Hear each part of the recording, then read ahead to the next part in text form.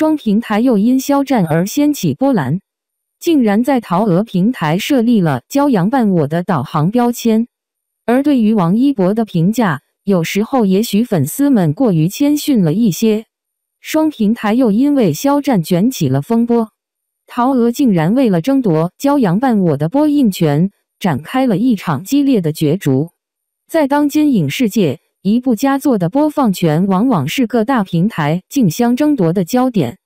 近日，国内两大热门视频平台鹅平台和淘平台，为了能够独家播放《骄阳伴我》，纷纷施展浑身解数，展开了一场激烈的角逐。然而，令人意外的是，这场争夺战不仅仅局限在播放权的争夺上。还在导航条和封面设计上上演了一场悄然的较劲，从中展现出对优质内容的渴望和对观众的尊重。首先，我们来看鹅平台。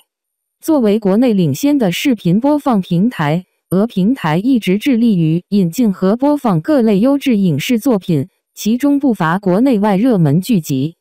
在《骄阳伴我》的播放权之争中，鹅平台反应迅速。竟然在其界面上设置了“骄阳伴我”的专属导航条，为观众提供了更加便捷的观看体验。然而，淘平台却毫不示弱，在此之后也相继设置了相应的导航条，并且还在剧集封面设计上下足了功夫。每个版本的封面都力求唯美动人，为观众留下了深刻的印象。这两大平台争相设置导航条和精心设计封面。从侧面反映了他们对《骄阳伴我》的高度重视。作为备受期待的一部佳作，该剧的播放权自然成为了鹅和淘两大平台争相角逐的焦点。为了吸引更多的观众，不仅宣传力度不断加大，而且还在视觉设计上倾注心血，力求通过精美的封面和便捷的导航条来吸引用户的关注。然而，尽管导航条和封面的设计在一定程度上能够吸引观众，但归根结底，一部优秀作品的吸引力仍然在于其内容本身。《骄阳伴我》之所以能够引发鹅和淘两大平台如此激烈的争夺，正是因为该剧充满了积极向上的剧情和充满正能量的主题。除了实力派的演员阵容，剧情本身的创新元素也是吸引观众的重要因素之一。使得整个故事更加引人入胜。正是这样的优秀作品，才让俄平台和淘平台不惜付出竞争的代价，力求将其收入囊中，为观众呈现一场精彩绝伦的视听盛宴。这场竞争在一定程度上也反映了当前视频平台的激烈竞争态势。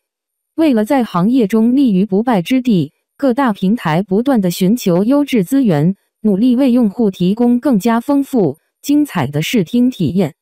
对于观众而言，这无疑是一件幸事，因为他们将有更多机会欣赏到精彩的影视作品。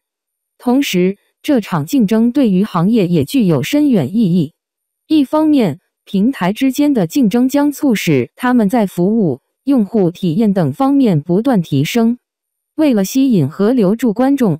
平台将更加注重观看体验的优化，例如提供更加便捷的导航条、更丰富的影视内容、更出色的技术保障等。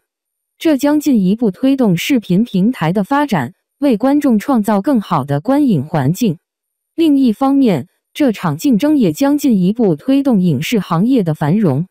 由于平台对优质内容的渴求，将有更多优秀作品得到展示和推广，为编剧。导演和演员等影视人才提供了更多展示才华的机会，这将促进整个影视行业的良性竞争，推动行业发展，进而为观众带来更多精彩的作品。总的来说，鹅与淘平台的竞争展现了他们对优质内容的追求和对观众的尊重。在这场竞争中，《骄阳伴我》成为了焦点，也让我们看到了好剧对于平台和观众的重要性。相信在未来的竞争中，各大平台将继续努力提升服务质量，为观众带来更多优秀的影视作品，让广大观众在视频世界的海洋中尽情遨游。九月一日晚上二十点三零，央八上星，淘鹅上线，还不断更，不见不散哦。摩托姐姐的这两句话给人留下深刻印象，展现了对王一博的鼓励和信任。这种骄傲和信任源自多方面的因素，个人发展的自由和真实性。摩托姐姐强调，王一博不需要局限于别人设定的标准来定义自己的价值，他可以成为更好的自己，由自己决定最好的状态。这种个人发展的自由和真实性，让人感受到他的追求是真诚而坚定的。自信心和独立思考，通过鼓励王一博不受外界声音影响，摩托姐姐传达了自信心和独立思考的重要性。这种态度鼓舞人们相信他有足够的坚持和自主性，能够坚守内心信念。认可与努力的奖励。摩托姐姐对王一博舞台实力的肯定，表达了他在表演领域的卓越能力。这种认可是他不断努力的回报，也凸显了他的专业素养和才华、人格魅力和正面形象。王一博被形容为很正派，这显示出他的品行和人格魅力在粉丝心中的积极形象。这也与他代表年轻一代的特质相吻合，让人对他产生深刻的好感。演技和职业认可，对于他的演技，摩托姐姐提到了蒋先云演技的突出和原声台词的进步。这种评价显示他在演艺领域的成长和受到同行认可的程度。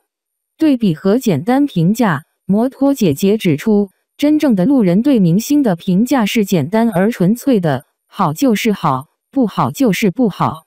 这种对比让人感受到。明星的表现终究要受到广泛评价，而摩托姐姐的话语透露出她对王一博的支持是纯粹的。总之，摩托姐姐的话语体现了对王一博多个方面的支持和肯定。这种骄傲和信任源于王一博的努力、真实性以及在多个领域的表现。这也在一定程度上反映了粉丝对明星的情感和信仰。同时，也传达了对于一个艺人多元发展和真实呈现的期待。